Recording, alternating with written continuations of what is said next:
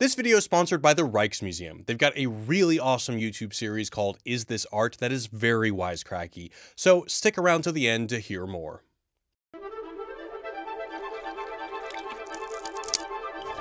Hey Wisecrack, Jared again. If memes are anything to go by, it seems like the Star Wars prequels have gone through a resurgence in popularity since their initial critical pounding. So that leads us to wonder, were we all wrong? Did we misjudge what are in fact cinema classics? I don't like sand.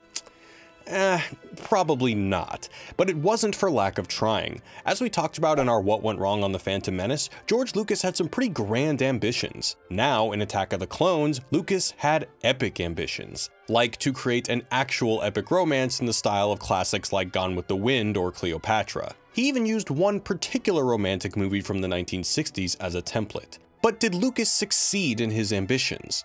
Well, not quite, but if we dive into his original inspiration, we can discover how the story of a spoiled brat It's not fair. dating a patronizing princess And he'll always be that little boy I knew on Tatooine. went so horribly wrong. Welcome to this Wisecrack edition on Star Wars Episode 2. What went wrong? And of course, spoilers ahead if you really care about Star Wars prequel spoilers. It might have been a while since you last saw this movie, so here's a quick recap. Set over a decade after The Phantom Menace, Attack of the Clones follows a now sort of grown-up Anakin Skywalker who is charged with protecting the once queen, now Senator Padme Amidala from multiple assassination attempts. After staying in a variety of romantic locations, wouldn't you know it, they fall in love. Meanwhile, Obi-Wan discovers that an army of clones has been created for the Republic. From this, he uncovers a separatist plot to start a civil war led by former Jedi Count Dooku, but gets captured. After finding his mother dead and performing a casual massacre, Anakin steals a droid and goes with Padme to rescue Obi-Wan. They get captured too and are sent to an arena to die with Obi-Wan. Good job. There's some stuff about Jar Jar causing the downfall of society, Misa propose that the Senate give immediately emergency powers to the Supreme Chancellor. God damn it, Jar Jar. Then it's your usual last 40 minute extravaganza of lightsabers and explosions as Jedi's and the clone army battle the Badmen. It turns out the war was all because of the dark side, as usual. Everything is going as planned. And Padme and Anakin get married despite them both knowing it's a bad idea. It would destroy us. Episode 2 continues Lucas's attempt to answer the question, how does democracy slide into fascism? And to his credit, he does this in a really smart way, by taking inspiration from history and contemporary politics. The film opens with a bombing attempt to kill Padme, which sets all the events of the film in motion and by the end has led to a war. Begun. The Clone War. Lucas seems to be invoking the assassination of Archduke Franz Ferdinand, which is often cited as the catalyst for World War I. The film was released not even a year after the 9-11 attacks that would then lead to the invasion of Iraq. And here we have a blockbuster popcorn movie written before all that happened, providing some prescient commentary. Count Dooku and Darth Sidious manufacture a conflict for their own ends. The threat of Dooku's droid army allows Palpatine to gain emergency powers and control the clone army kinda like how Hitler was made Chancellor of Germany in January of 1933. By manufacturing conflict and a Bolshevik conspiracy against the state, he was granted dictatorial powers by the Reichstag in March of the same year. And well, we all know how that turned out. Winter for Poland and France. The movie is also interested in showing how choices made with even the best intentions can be manipulated into benefiting the wrong people. The Kaminoans were simply hired to create an army. They didn't know that the guy who placed the order was actually dead. Master Sifo-Dyas was killed almost 10 years ago. They also didn't know that they were building the stormtroopers that would eventually oppress an entire galaxy. Even poor old Jar Jar thinks he's doing what Padme would have wanted when he presents the motion to grant Palpatine emergency powers. If only Senator Amidala were here. Again, Lucas is drawing from history. You can trace this kind of manipulation back to events like the Munich Agreement. At the time, this was considered a way of preventing war by appeasing Hitler's demand for more territory.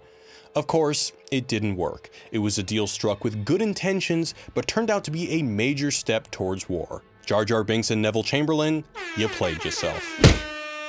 Now, while this analysis of sociopolitical history is going on, Lucas had the smart idea of using a character drama at the center of the movie to highlight the personal side of the larger conflict. How does he do that? He makes it a love story, of course. A love story against the backdrop of a war. Whether it's Romeo and Juliet, Robin Hood and Maid Marian, or Neo and Trinity, love in a time of conflict is a story that's as old as drama itself. But Lucas seems to have settled on one specific movie influence for his doomed lovers, the 1965 romantic epic Dr. Zhivago. An adaptation of the Boris Pasternak novel, Dr. Zhivago is the story of doctor and poet Yuri Zhivago, whose life and love for a married woman is dramatically changed by the conflicts of the First World War, the Russian Revolution, and the Russian Civil War. It explores in detail the historical context and puts him and his beloved Lara Antipova right at the center of that conflict. Sound familiar? From the themes to the posters, which Lucas specifically asked artist Drew Struzan to imitate, the two movies have a lot in common. Both Zhivago and Anakin are taken from their families at a young age, and both bury their mothers on screen. Both stories are set at a time of burgeoning civil war. Episode 2 shows the events leading up to the Clone War, while Zhivago depicts the events leading to the Russian Revolution. The romance central to both movies is forbidden by social expectations or class. Anakin's role as a Jedi forbids him from love, Attachment is forbidden. whereas Zhivago and Lara's pre-existing marriages hinder their love, Zhivago to the wealthy Tonya and Lara to the Bolshevik commander Strelnikov. Both films even depict our main characters forced to travel as refugees. The biggest similarity is in how both films depict the devastating consequences true love can have. Love acts as a corrupting influence on Anakin, whether it's him disobeying orders to find his mother and going psycho when she dies, or how he believes his and Padme's love could be hidden, We could keep it a secret. the strength of Anakin's love causes him to do some stupid, sinister, and downright evil things. While it doesn't go to the same extreme, Dr. Zhivago depicts a good man who heals the sick, driven to breaking small laws like stealing firewood to provide for his family, and then driven to lie and cheat on that family because of his love for Lara. Zhivago's love for Lara results in him abandoning his wife and children. But by the end, said love makes him abandon Lara and his unborn child as well to save them from persecution. Anakin's love for Padme, by contrast, results in the death of thousands of Jedi and the creation of a fascist galactic empire, which seems a little like overkill to me. So if Attack of the Clones is cribbing so closely from one of the great love stories of all time, why is it such a dud? Sure, there's the toe-curlingly bad dialogue, I don't like sand. and the total lack of chemistry between Anakin and Padme, but all of that might have been okay if it wasn't for the fact that Lucas missed the mark on how the politics and love story of Dr. Zhivago are integrated. Dr. Zhivago succeeds because the romantic leads have conflicting loyalties but are willing to forgo them for the sake of love and their shared compassion for others. Zhivago and Lara are seen together several times in the first hour of the movie, but don't actually come together until something happens that reveals their shared desire to help the injured. Are you a nurse? They then both end up working closely together in a field hospital where, sure enough, they fall in love. The fact Zhivago and Lara forego their respective loyalties out of a desire to help, then fall in love because of that, encapsulates how well the political backdrop and love story are integrated.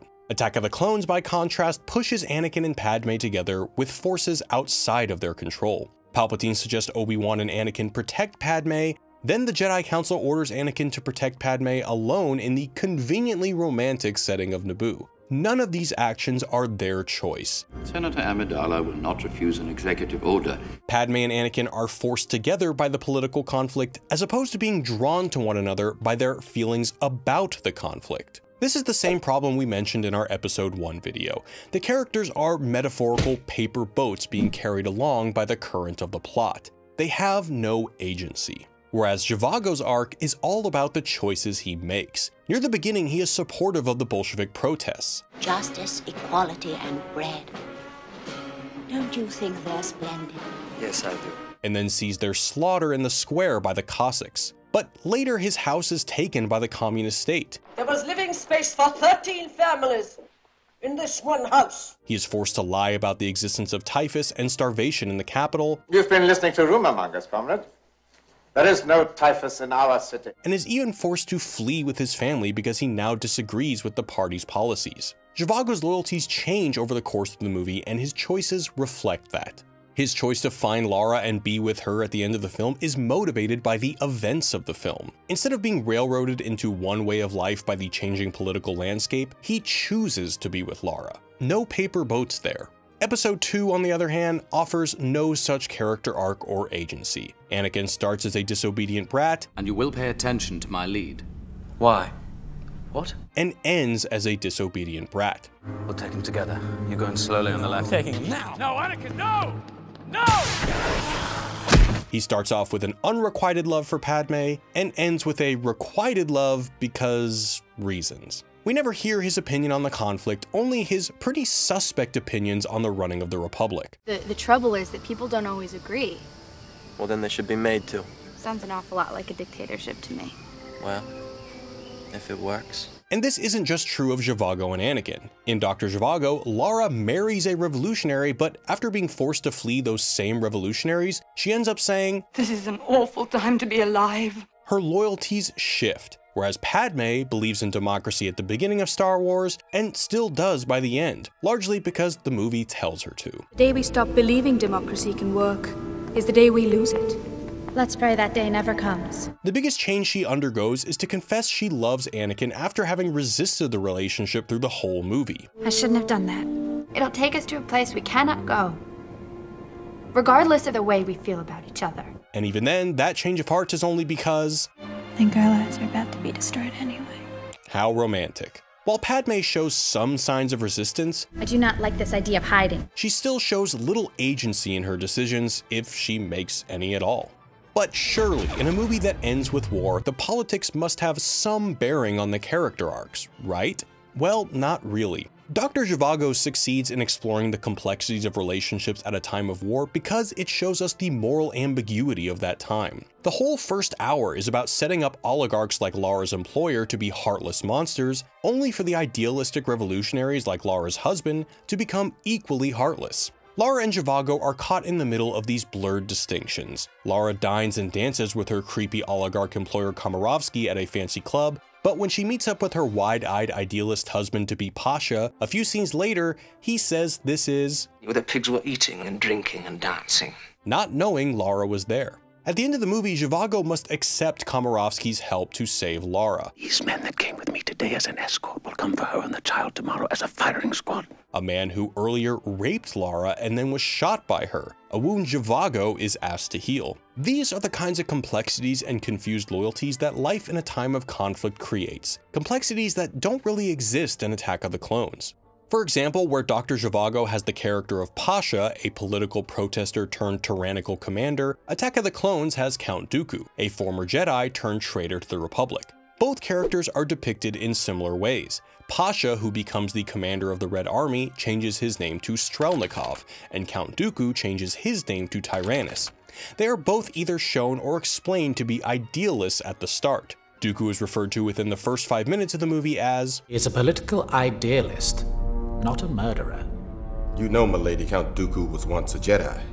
He couldn't assassinate anyone. It's not in his character. While we're introduced to Pasha handing out flyers to workers for a protest. The problem is how we see these characters change and develop over the course of the movie. We think Pasha is killed in the trenches of World War I, only for his reveal as Strelnikov to be the shock twist that concludes the first half of the movie. We knew his allegiances before the war, and it makes sense that he would make his way up the ranks of the Bolshevik army. It's a twist because we thought he was dead, not because his motivations changed. There is no revelation or even catharsis in Attack of the Clones. The next time we hear anything about Dooku after his passing mention at the start is over halfway through when he appears and basically explains his entire conspiracy while Obi-Wan is in earshot. After that, he tries to convince Obi-Wan to join his cause by pretending to be on his side. Oh no, my friend. This is a mistake, a terrible mistake. They've gone too far. This is madness. This would have been a great opportunity to develop his character more. If he had been introduced earlier, it could show some conflict about his ideals. Maybe then Obi-Wan would sympathize with him. But no, the next minute Dooku sentences them all to death, chops off Anakin's arm, and delivers the Death Star plans to Darth Sidious. No such moral ambiguity there. Other than a few sentences from nameless characters at the start, the audience is given no reason to care about Dooku's treachery or where his loyalties lie. A lot of these problems can be traced back to the same script issues episode 1 had. Whether it's the threat of Padme's life, being sent to Naboo, Obi-Wan stumbling across the clone army, or a declaration of war, all this happens to the characters, not because of the characters. In fact, the most significant decision of the whole movie is done off screen by Jar Jar, who decides to grant the Chancellor executive powers. This choice shapes the fate of the galaxy, but the most we see of his decision making process is a shot of him looking pensive. Episode 2's biggest flaw, though, is the romance itself. Where Zhivago and Lara's love is tortured and forbidden but ultimately feels true, Anakin and Padme's is meant to be all those things, but we're never really given any reason to believe that. Zhivago falls for a woman who shares his compassion, while Lara falls for a good man of great talent and character whom she admires. Meanwhile, across the galaxy, a moody teenager inexplicably wins over a much older woman by being really, My goodness, you've grown. So have you. Grown more beautiful, I mean. really, I don't think she liked me watching her. really, The thought of not being with you. I can't breathe. really creepy.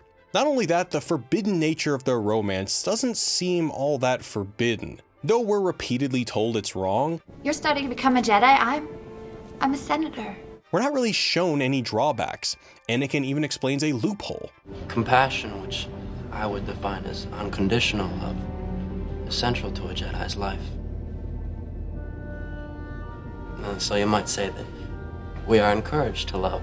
And though Obi-Wan says Anakin has made a commitment to the Jedi Order, he also says, You've made a commitment to the Jedi Order, a commitment not easily broken. So wait, it's not easy but can be broken?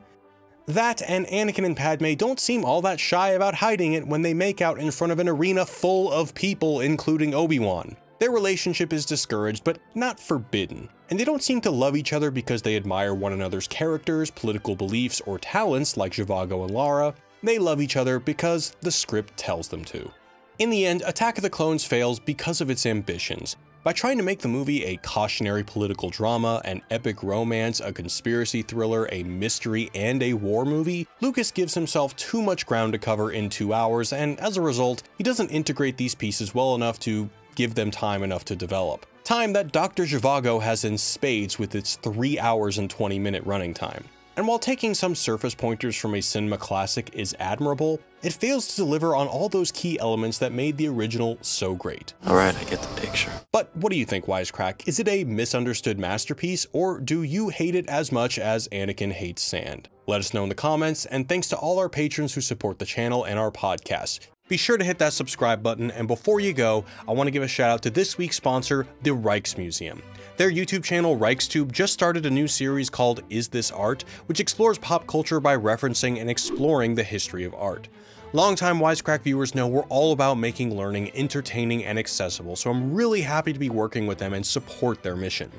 Rijksmuseum is one of the most renowned museums in the world, and now they have a channel, so even if you're not in Amsterdam, you can check out some awesome content. They've got a great video on how meme culture isn't all that different from classical art, and another that ties toy collection to the history of dollhouses. It's all really awesome and will help you think of pop culture in a whole new way. Check out their latest video by clicking here, and make sure to subscribe and tell them that Wisecrack sent you. And as always, thanks for watching guys, peace.